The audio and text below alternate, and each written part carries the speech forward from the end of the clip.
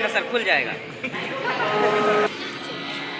आर्या, और अवली सदन की ओर से आज देशभक्ति गीत प्रस्तुत करने जा रही हूँ, जिसका शीर्षक है